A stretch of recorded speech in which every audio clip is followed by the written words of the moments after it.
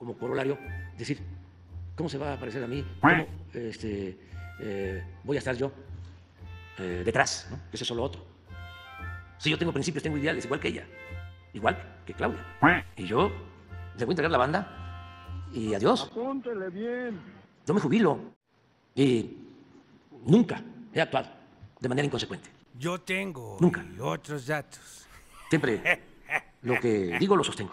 Cumplo mis compromisos.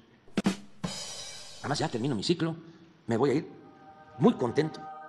Tengo que agradecerle al Creador, a la suerte, desde luego al pueblo, porque fue una lucha de muchos años, muy difícil. Hicimos un proceso de transformación y ya logramos nuestro objetivo de sentar las bases para que esta transformación continúe.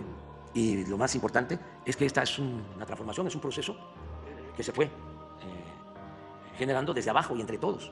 Y se llevó a cabo una revolución, está en marcha una revolución de las conciencias. Y solo que fuese yo un ambicioso, vulgar, un politiquero, estaría yo pensando en ser jefe máximo, o caudillo, o líder moral, mesías, mucho menos cacique. Yo ya termino y no vuelvo a participar en ninguna actividad pública.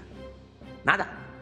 Ni una conferencia. Voy a cancelar mis cuentas en las redes sociales. Apúntele bien. No voy a recibir a nadie, menos a políticos, pero tampoco a la gente del pueblo, a la que quiero mucho. Quiero también tener pues, eh, momentos libres para la reflexión, porque voy a escribir y no tengo mm, eh, ambición, mm, ni al poder ni al dinero.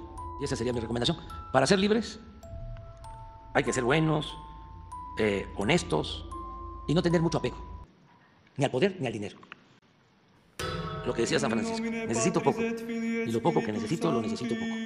Y la gente contentísima, muy contenta. Eh, y luego, imagínense, tener la dicha enorme de entregar la banda presidencial a una mujer, pero añadan una mujer con convicciones, con principios, con ideales, honesta. ¿Qué más le puedo pedir a la vida? Gracias a la vida que nos ha dado tanto.